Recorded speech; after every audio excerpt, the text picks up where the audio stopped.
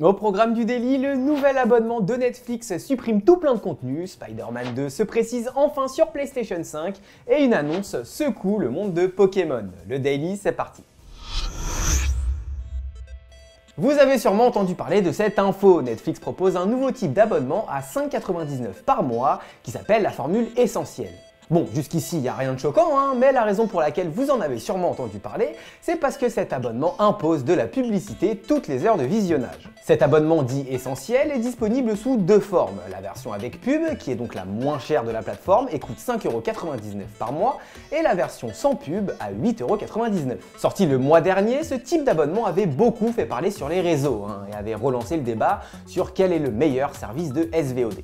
Et oui, car pas plus tard qu'en août dernier, Disney Plus avait dépassé Netflix en nombre d'abonnés. Un résultat qui s'explique assez facilement en réalité. Disney Plus a récupéré des licences mythiques comme Star Wars ou Marvel, quand Netflix, lui, a fait des choix plutôt douteux.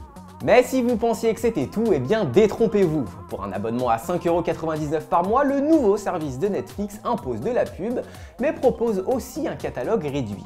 Comparé aux abonnements dits normaux, on va alors retrouver une poignée de films ainsi qu'une dizaine de séries en moins. Mais parmi les séries absentes à l'appel, il y a des gros noms. Hein. On parle quand même de Peaky Blinders, House of Cards ou encore The Good Place.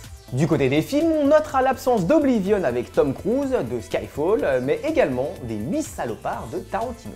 Ces listes ne sont évidemment pas exhaustives car à l'heure actuelle, Netflix n'a pas communiqué publiquement sur les différences de contenu entre les différents types d'abonnements. On sait par contre que pour l'offre essentielle avec pub, 5 à 10% des contenus de Netflix seront aux abonnés absents en fonction des pays. Et comme pour justifier ces absences, la plateforme explique que c'est en raison de restrictions de licence. Ce concept n'est pas nouveau puisqu'il y a quelques années déjà, le géant américain menait une guerre contre les VPN exactement pour les mêmes raisons. Pour faire simple, Netflix négocie les droits de diffusion avec les ayants droit. Les ayants droit, eux, ne négocient pas qu'avec Netflix, ils calculent les profits potentiels en fonction des régions. Du coup, bah, tous les contenus n'ont pas la même valeur pour faire simple, surtout en fonction des régions où certains films seront plus susceptibles de fonctionner que d'autres. Et bah là, c'est un peu pareil, hein. c'est une question d'argent. Certains ayants droit ne veulent pas que leur film soit diffusé dans une offre à 5,99€ par mois. Ils ont donc négocié des accords avec d'autres partenaires afin que leur film soit diffusé pour plus que ça, donc autoriser Netflix et non les autres donnerait un avantage à la plateforme. Et il y a également une question juridique qui rentre en compte. Des contrats ont été signés et Netflix ne peut pas faire ce qu'ils veulent avec les droits de diffusion et n'ont pas forcément envie de refaire des contrats exprès pour une offre à 5,99€.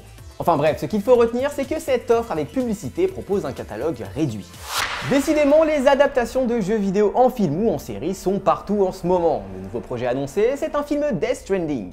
C'est sur Deadline que l'info a été révélée officiellement et bah l'ami Kojima veut faire un film depuis longtemps, donc on n'est pas trop étonné en réalité.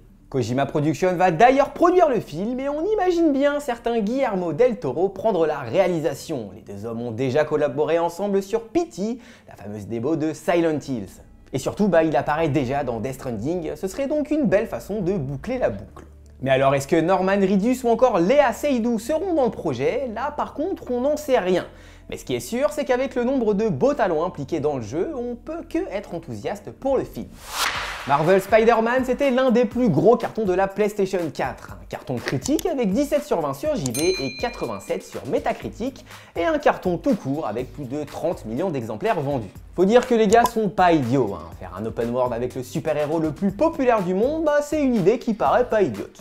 Du coup, bah, quitte à rester malin, ils ont donc continué sur leur lancée. C'était un peu court pour développer un tout nouveau jeu Spider-Man pile pour la sortie de la PlayStation 5, alors ils ont lancé Miles Morales. C'est un standalone bien pratique qui met en valeur un nouveau personnage, lui-même devenu très populaire récemment. Ouais, on en parlait cette semaine avec le trailer du film d'animation Miles Morales Across the Spider-Verse, qui d'ailleurs va s'appeler Seul contre tous en France. Petite info bonus. Bref, ce jeu Miles Morales, c'était un carton aussi. Hein. Les deux jeux ont été adaptés sur PC. Tout ça, c'est super, mais les fans, on vous connaît, vous voulez du neuf. Et vous allez en avoir, mais bah va falloir attendre plus longtemps que prévu. Si on espérait un beau trailer pour les Game Awards, bah c'est cette semaine que PlayStation a enfin communiqué. Et la nouvelle est un peu décevante. Ce qui est cool, c'est qu'on a une fenêtre de sortie plus précise. On savait que le jeu devait sortir en 2023 et il n'est pas repoussé. Mais il va quand même falloir attendre jusqu'à l'automne. Bon, je vais pas vous faire le monsieur météo, hein, mais l'automne, bah ça peut être fin septembre comme ça peut être en décembre.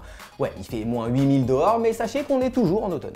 En bref, vous l'avez compris, il va falloir attendre une année avant de pouvoir tisser de la toile. L'autre info qui est plutôt une confirmation d'ailleurs, c'est que le jeu sera bien une exclusivité PlayStation 5. Il devrait donc tirer parti de la toute puissance de la next-gen sans craindre de laisser la PlayStation 4 sur le carreau. Dans Marvel Spider-Man 2, la menace principale sera Venom. Alors oui, hein, on avait tous couiné de plaisir en voyant sur le trailer d'annonce nos deux héros, Peter Parker et Miles Morales, combattre ensemble, mais c'était il y a plus d'un an et on espère avoir de nouvelles images bientôt, d'autant que toutes les personnes qui bossent pour le jeu nous disent que c'est absolument incroyable. Alors les gars, on veut bien vous croire, hein, mais maintenant faut nous le montrer.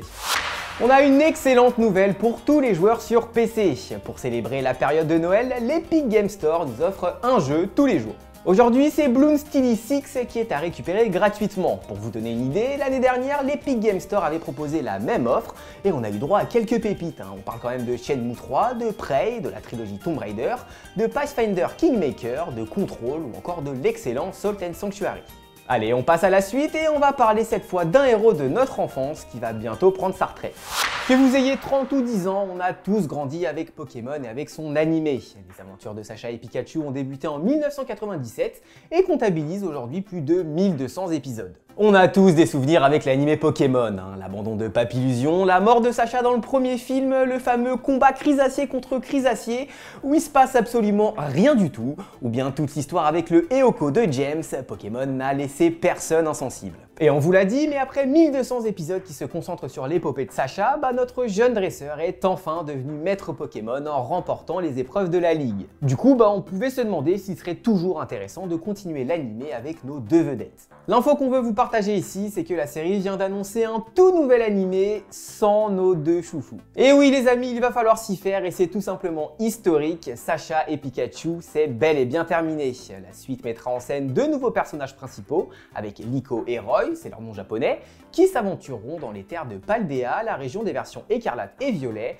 avec les trois Pokémon starters des nouveaux jeux, Chochodile, Poussacha et Coiffeton. Mais soyez rassurés, hein, nos deux comparses vont pas se barrer sans nous dire au revoir en bonne et due forme, puisque le chapitre final de l'histoire de Sacha et de Pikachu vont être diffusés à partir du vendredi 13 janvier prochain au Japon. On aura une suite de 11 épisodes qui viendront clôturer leurs aventures de la meilleure des manières possibles, mettant en scène les amis emblématiques de Sacha tels que Pierre ou encore Ondine. On aura aussi un aperçu de ce que l'avenir réserve à notre cher ami, et c'est d'ailleurs pas impossible qu'il fasse une ou deux apparitions dans la prochaine série. Le 23 décembre prochain, on aura même droit à un épisode spécial sur Sacha, sans plus de précision pour le moment, mais c'est bien à partir du 23 avril que la nouvelle série débutera avec nos deux nouveaux héros, Nico et Roy. Un premier teaser a déjà été partagé et on peut apercevoir la forme chromatique du Pokémon légendaire Rayquaza. Quoi qu'on en dise, bah, c'est un pari plutôt risqué pour Pokémon Company. Hein. Sacha et Pikachu, bah, c'est l'emblème même de la licence. Pikachu, c'est la mascotte, et là, bah, on va devoir faire sans lui.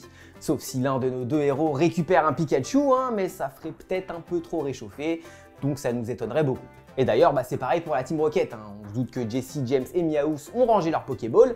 Et bah, ça nous fait mal aussi en réalité. Ils nous ont accompagnés toute notre enfance et au fond, on s'est peut-être un peu attaché à ce trio de bras cassés. Quoi qu'il en soit, on a très hâte de voir ce que la série animée nous réserve. Le virage est plutôt étonnant, hein, mais plutôt bienvenu au final. Le daily c'est fini, mais place au sondage. Hier, on vous a demandé si vous étiez déçu de l'animation d'Henri Cavill dans le prochain film Superman. 64% trouvent qu'il était parfait dans le rôle, 10% sont déçus mais apprécient aussi la nouveauté, 4% n'aiment pas du tout son acting et 21% sont plus déçus pour l'abandon de son rôle en tant que Geralt dans la série The Witcher que Superman. Aujourd'hui, on va vous demander ce que vous pensez du virage pris par la série animée Pokémon. Sacha et Pikachu vont très bientôt nous faire leurs adieux et on aimerait bien savoir ce que vous en pensez. Le sondage est déjà dispo dans l'onglet communauté de notre chaîne YouTube, n'hésitez pas à nous donner votre avis, on débriefera des réponses au prochain daily. Et cette fois-ci le daily c'est bien fini, mais on se donne rendez-vous dès lundi. Un bon week-end, ciao